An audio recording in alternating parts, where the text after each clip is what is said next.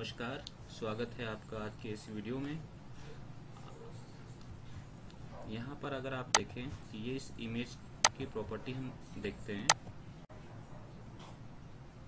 इस इमेज का अगर आप साइज़ देखें तो 11.5 पॉइंट है। और अगर हम इसका डायमेंशन देखें तो विथ जो है 3456 पिक्सल और हाइट 4608 पिक्सल्स है। तो 11.5 साइज़ की फ़ाइल जो है, बहुत बड़ी साइज़ होती है। अगर हमें अपने वेबसाइट पे से यूज़ करना हो या हमें किसी को ईमेल करके भेजना हो तो ये बहुत टाइम लगेगा लोड होने में। तो इससे बेटर है कि हम जो है, इसे कॉम्प्रेस कर दें। तो कॉम्प्रेस करने से क्या होगा, इसकी जो क्वालिटी होगी, वो थोड़ी सी कम होगी जिसमें इतना फ़र्क नहीं पड़ेगा और साइज़ भी बहुत कम हो जाएगी। तो ये हम कैसे करेंगे, वो मैं बताता हूँ आपको। इसके लिए आपको कोई एडिशनल सॉफ्टवेयर यूज़ नहीं करना। ऑलरेडी आपके कंप्यूटर में ये सॉफ्टवेयर इंस्टॉल होगा। इसका नाम है PowerPoint Microsoft PowerPoint जी हाँ आप पावर पॉइंट का यूज़ करके किसी भी इमेज की साइज़ जो है आप कम कर सकते हैं उसे कॉम्प्रेस करके और उसका डायमेंशन भी चेंज नहीं होगा। आई I मीन mean, उसकी हाइट और विथ भी सेम रहेगी जैसे ओरिजिनल फ़ाइल में है। तो सबसे पहले इसकी प्रॉपर्टीज़ ओपन कर लेते हैं। और यहाँ डिटेल्स में जाते हैं। यहाँ पर जो है इसकी विथ और हाइट दी हुई है। तो आइए सबसे पहले आप पावर पॉइंट ओपन करते हैं। पावर पॉइंट जब हम ओपन करेंगे तो यहाँ पर पहले से डिफ़ॉल्ट स्लाइड दिया हुआ होता है और इसकी साइज़ जो है अलग होती है। इसकी साइज़ जो है, हमारी इमेज की साइज़ जितनी नहीं है, ये अलग साइज़ है। अगर आप इसे इस ब्लैंक फ़ाइल को अगर सेव करें, इसे हम एज ए इमेज सेव करते हैं जेपीजी में। प्रेजेंटेशन वन नाम से डेस्कटॉप में सेव कर देता हूँ। और जस्ट दिस वन एक ही स्लाइड है हमारे पास अभी। तो प्रेजेंटेशन वन नाम से हमने सेव किया था। इसके अगर हम प्रॉपर्टीज़ चेक करें तो इसका डायमेंशन जो है 1280 पिक्सल बाई 720 पिक्सल्स है। जो कि हमारे इस फ़ाइल साइज़ से बहुत कम है। तो सबसे पहले तो हमें अपने स्लाइड को आ, सेट करना है ताकि वो इस पिक्सल के अकॉर्डिंग सेट हो। तो इसको हम कैसे करेंगे? हम डिज़ाइन में जाएँगे। डिज़ाइन टैब में आने के बाद यहाँ पर स्लाइड साइज़ का ऑप्शन होगा। यहाँ पर हमें कस्टम स्लाइड साइज़ पे क्लिक करना है।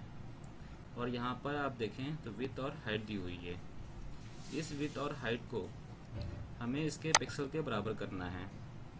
जिस इमेज को हम यहाँ पर यूज़ करना चाहते हैं, उस इमेज की डायमेंशन के अकॉर्डिंग हमें यहाँ सेट करना है। बट यहाँ पर जो है हमारा इमेज का साइज़ जो है पिक्सल में है, और यहाँ पर हमें सेंटीमीटर में यूज़ करना है। पिक्सल का ऑप्शन नहीं है।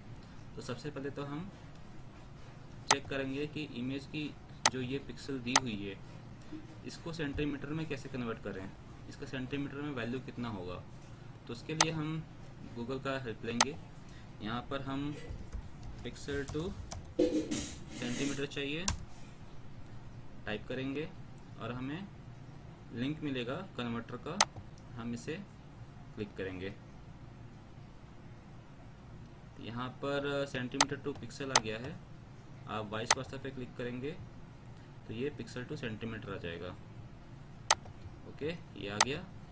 अब यहाँ पर जो है फ्रॉम में हमें टाइप करना है विथ चले चाहिए थ्री फोर फाइव सिक्स तो ये आ गया नाइन पॉइंट इसको कॉपी कर लेते हैं। और यहाँ पर जो है हम पेस्ट करते हैं। उसके बाद अब हमें चाहिए हाइट तो इमेज की हाइट है फोर सिक्स ज़ीरो एट यहाँ पर हम four six zero eight type किए और इसको कॉपी करते हैं। और देन पावर पॉइंट में यहाँ हाइट में पेस्ट करते हैं। अब जो है हमें साइज़ मिल गया सेंटीमीटर में हमारे इमेज के पिक्सल के अकॉर्डिंग अब इसे ओके करते हैं। और यहाँ पर जो है आप मैक्सिमाइज या इंश्योर फिट कोई भी चूज़ कर सकते हैं, क्योंकि हमें कोई टेक्स्ट बेस्ड कंटेंट नहीं है यहाँ पर। हम जस्ट अपना एक इमेज यूज़ करना चाह रहे हैं। तो यहाँ पर मैं इंश्योर फिट कर देता हूँ। तो इस तरह से हमारा स्लाइड का साइज़ चेंज हो गया। अगर आप देखें तो हमारा जो इमेज है, वो भी उसका उसका भी फॉर्मेट जो है इस तरह से है पोर्ट्रेट में। और हमारा स्लाइड भी जो है, अब पोर्ट्रेट में आ गया है और इसकी साइज़ जो है इमेज की पिक्सल के अकॉर्डिंग हो गई है। अब हमें, अब हम इन बॉक्स को डिलीट कर देते हैं। अब यहाँ पर हमें इमेज चाहिए। हमें इंसर्ट में जाना है पिक्चर में जाना है और यहाँ पर जहाँ हमारी फ़ोटो आ, है उस फ़ोटो को चूज़ करना है। यहाँ पर हम सेलेक्ट करते हैं फ़ोटो को और इंसर्ट पे क्लिक करते हैं।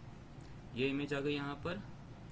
अब इस इमेज को हमें ड्रैग करना है अपने माउस की हेल्प से और इसके कॉर्नर तक इसको सेट करना है। तो देखिए हमारी इमेज फट नहीं रही है क्योंकि इसकी ओरिजिनल साइज़ ही इस स्लाइड की साइज़ जितनी बड़ी है। अब इमेज आ गई हमारी साइज़ के अकॉर्डिंग अब हमें इसे सेव करना है। हमें सेव एस पे जाना है ब्राउज पे क्लिक करेंगे, और यहाँ से हम इमेज का फॉर्मेट चूज़ करेंगे। तो आप चाहे तो जेपीजी यूज़ कर सकते हैं पीएनजी यूज़ कर सकते हैं टिफ भी यूज़ कर सकते हैं बट जेपीजी यूज़ करते हैं। हमें वैसे भी इमेज जो है कॉम्प्रेस करना है। जेपीजी में कॉम्प्रेस फॉर्मेट लेता है। तो जे जेपीजी चूज़ करेंगे। यहाँ पर आप अपना फ़ाइल का नाम दे, दे सकते हैं कुछ भी। तो मान लीजिए स्टॉक जहाँ पर हमारा ओरिजिनल फ़ाइल है वहीं पे सेव करते हैं। और इसका नाम डाल देते हैं ज़ीरो ज़ीरो वन फ़िलहाल के लिए। यहाँ टूल्स में जाएँगे और कॉम्प्रेस पिक्चर्स का ऑप्शन है। इसको सेलेक्ट करने के बाद अब यहाँ पर देखिए किस तरह के कॉम्प्रेस के ऑप्शन दिए हुए हैं। हमें एच डी डिस्प्लेज में यूज़ करना है, या प्रिंटिंग के लिए चाहिए, या वेब के लिए चाहिए, या ईमेल करना है। तो हमें अगर ईमेल करना है तो हम ईमेल को चूज़ करेंगे।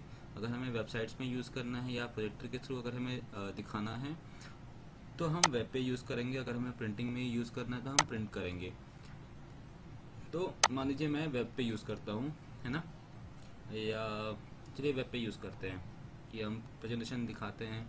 इमेज वगैरह हमें यूज़ करना होगा, या वेबसाइट पर अगर हमें यूज़ करना है तो वेब पे क्लिक करते हैं ओके करते हैं। और सेव पे क्लिक करते हैं। एक ही स्लाइड है तो चाहे आप ऑल ऑल स्लाइड्स यूज़ करें, या जस्ट दिस वन पे क्लिक करें, कोई फ़र्क नहीं पड़ता।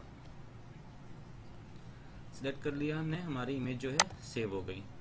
अब यहाँ पर जो है, आप देखें तो ज़ीरो ज़ीरो वन हमने नाम से सेव किया था। इसकी प्रॉपर्टी देखें आप। तो इसकी साइज़ देखिए आप टू पॉइंट सेवन टू है। और हमारी जो ओरिजिनल फ़ाइल थी, उसकी साइज़ जो है, उसकी फ़ाइल साइज़ थी 11.5 तो इमेज सेम है साइज़ कम हो गई। तो अब डिटेल्स में अगर आप चेक करें, दोनों के, दोनों की विथ एंड दोनों की हाइट सेम है। तो हमारा इमेज का पिक्सल चेंज नहीं हुआ, सिर्फ़ उसकी फ़ाइल साइज़ कम हो गई, क्योंकि वो कॉम्प्रेस हो गई। तो इस तरह से आप किसी भी इमेज को पावर पॉइंट की हेल्प के थ्रू कॉम्प्रेस कर सकते हैं। उससे उसका साइज़ भी कम हो जाएगा और आपका पिक्सल भी चेंज नहीं होगा। तो ये वीडियो आपको कैसा लगा? प्लीज़ कमेंट कीजिए और आप इसे ट्राई कीजिए। अगर आपको इशू आए तो आप मुझे कमेंट्स के थ्रू मैसेज कर सकते हैं। और ये वीडियो देखने के लिए बहुत बहुत शुक्रिया।